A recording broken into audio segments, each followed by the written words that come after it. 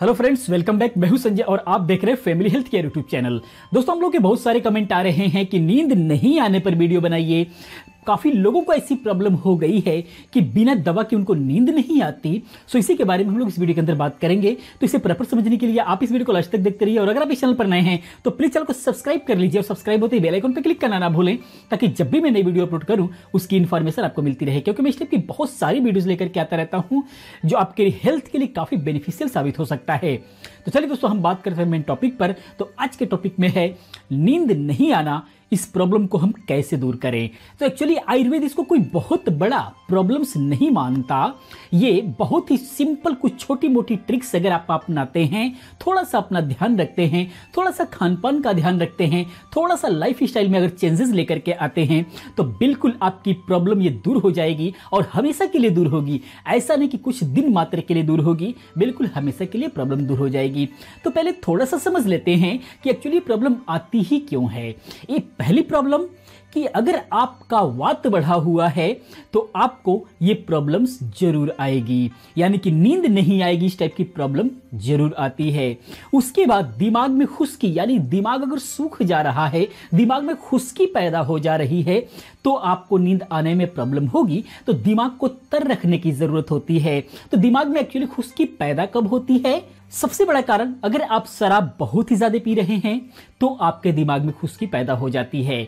या फिर, अगर आप ज़्यादा चाय वगैरह या फिर ग्रीन टी लोगों को पीने का बहुत ही ज़्यादा शौक है काफ़ी लोगों को। तो अगर green tea actually green tea आप लोगों को जानना चाहिए, ये बहुत ही ज़्यादा खुश्क होता है। तो जिनका स्किन खुश्क है, जिनका शरीर खुश्क है, उनको ग्रीन टी पीना बहुत ही ज़्यादा हानिकारक होता है। तो अगर ज़्यादा ग्रीन टी पीते हैं तो भी आपका ब्रेन जो है, आपकी शरीर जो है खुश्क हो जाएगी। या फिर किसी भी घाव चोट की वजह से अगर बहुत ज़्यादा दिन तक आपने एंटीबायोटिक का कोई भी कोर्स चला लिया है तो वो आपके पूरे शरीर को खुश्क कर देता है, जिसके साथ साथ आपका दिमाग, आपका ब्रेन भी खुश्क हो जाता है और आपको नींद कम आने लग जाती है।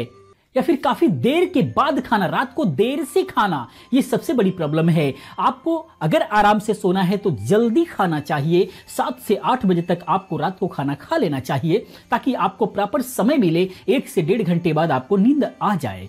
और जब आप सोने जा रहे होते हैं तो उस टाइम आप टीवी वगैरह मोबाइल वगैरह अवॉइड करें। नहीं तो आपका ध्यान भटकाएगा, ध्यान किसी और तरफ़ ले जाएगा और जब आपका ब्रेन बिज़ी हो जाएगा किसी और चीज़ को सोचने के लिए, वो रिलैक्स नहीं करेगा तो आपको नींद नहीं आएगी। इसलिए जब आप सोने जाते हैं तो आप बिल्कुल रिलैक्स रहिए। किसी भी तरह का, इस टाइप का कोई भी इक्विपमेंट मोबाइल वगैरह लैपटॉप वगैरह या फिर कोई और चीज़ें, कोई बुक्स वगैरह आप ना पढ़ें, बिल्कुल सोने गए हैं तो आप बिल्कुल रिलैक्स होकर के सोने का प्रयास कीजिए।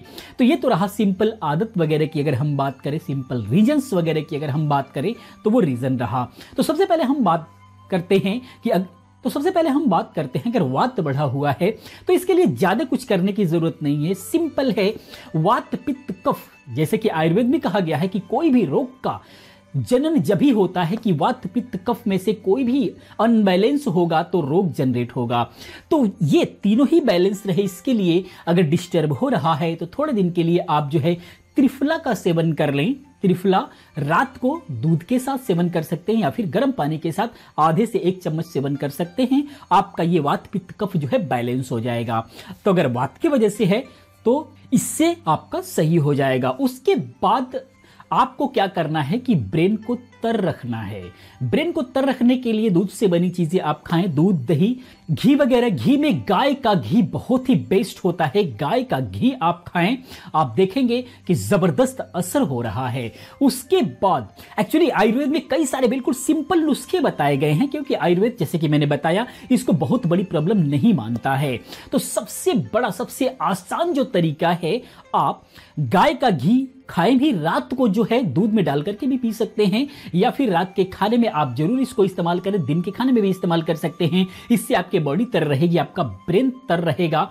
तो उसकी जब तरावट बनी रहेगी तो आपको नींद अच्छी आएगी। और सबसे बेहतर तरीका है नींद जल्द से जल्द आने का, और बिल्कुल प्रॉपर तरीके से जो है ये रूटीन में आ जाने का कि जब आप रात को सोने जाते हैं, सोने से पहले आप गाय, शुद्ध देसी गाय का घी होना चाहिए। आप नाक में दो दो बूंद डाल लें और ज़्यादा तेज की खींचे ना, ताकि सिर्फ़ वो अंदर चला जाए, बस। उसके बाद रिलैक्स होकर के सोए, आपको ज़बरदस्त नींद आएगी और छह से सात घंटे के बीच में आपकी आँख नहीं खुलेगी, इतना बेहतरीन नींद आती है। जिनको शुद्ध देसी घी नहीं मिल रहा है तो आप बादाम रोगन भी डाल सकते हैं। दो दो बूंद दोनों नाक में डालिए, ज़बरदस्त आपको नींद आएगी और धीरे धीरे आपकी जो है नींद बिल्कुल रूटीन में आ जाएगी और आपको नींद आने लग जाएगी। तो ये आप काम कीजिए, बाकी कुछ भी करने की ज़रूरत नहीं है। उससे भी अगर जल्दी थोड़ा सा आराम नहीं मिल रहा है, आपको और जल्द आराम के लिए अगर बहुत ही ज़्यादा प्रॉब्लम है तो आप जो है पैर की तलवे में मालिश कर सकते हैं। पैर के तलवे में मालिश आयुर्वेद में इसका बहुत ही ज़्यादा विवरण है। अगर पैर के तलवे में मालिश करते हैं और गाय का घी या फिर बादाम रोगन, बादाम का तेल अगर नाक में डाल करके सोते हैं तो धीरे धीरे बिल्कुल आपकी जो रूटीन है, वो बिल्कुल जो है बरकरार हो जाएगी और आपको जो है सही टाइम से नींद आने लग जाएगी। उसके बाद भी किसी किसी को प्रॉब्लम्स हो जाती है, उनको नींद आती ही नहीं। ये भी आपने कर लिया। ये नॉर्मल, एक्चुअली थोड़े ज़्यादा दिन तक करना पड़ सकता है, जिनको ज़्यादा प्रॉब्लम है, ये इससे ज़रूर सही हो जाएगा।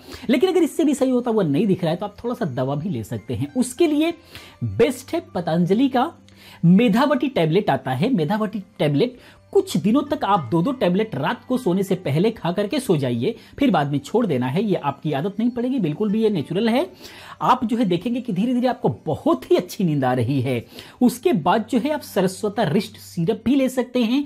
इनमें से कोई से भी एक लीजिए, सरस्वता रिष्ट सिरप लेते हैं। या आपके ब्रेन को तरावट करके रखता है, तरावट देता है और आपके ब्रेन को बुस्ट भी करता है या दास्त भी मज़बूत होती है। जो भी दवाइयाँ हैं आपके ब्रेन के लिए हैं, ब्रेन को रिलैक्स करेंगी और आपको एक बेहतर नींद आएगी। आएगी उसके बाद एक ब्राह्मी बट्टी टैबलेट भी होता है। ये भी क्लासिकल है बिल्कुल भी, और भी ब्रांड्स में आपको मिल जाएगा। तो इन तीनों में से ब्राह्मी बट्टी या फिर मेधा बट्टी या फिर सरस्वता रिष्ट सिरप अगर लेना है तो। तो इनमें से कोई सा भी आप ले लीजिए, थोड़े दिन तक लेंगे तो आपका ब्रेन बिल्कुल रिलैक्स हो जाएगा और आपको अच्छी नींद आने लग जाएगी और आपको रूटीन में रखना है सब कुछ बेहतर तरीके से अपनी आदतों को सुधार करके रखना है।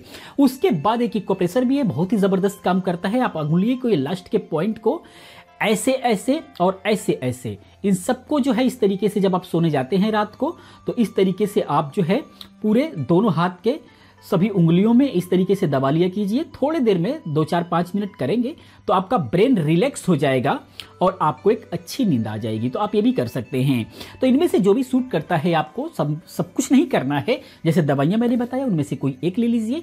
और जो देसी गाय के घी, जो नाक में डालने वाला प्रयोग है, ये अद्भुत है। ये और बादाम का तेल दोनों ही अद्भुत है। इन्हीं दोनों में से ही आपको जो है अच्छे से नींद आने लग जाएगी और आप बिल्कुल भी ठीक हो जाएँगे।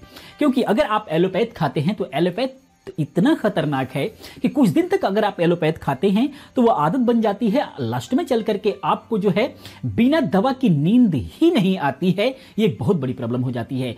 तो इसलिए दोस्तों, आप एलोपैथ को छोड़ करके आप आयुर्वेद को अपनाएँ। और ये जो तरीका हमने बताया, ये बहुत ही ज़्यादा कारगर है। इससे आपको बहुत ही अच्छी नींद आएगी और आप बिल्कुल भी सही हो जाएँगे।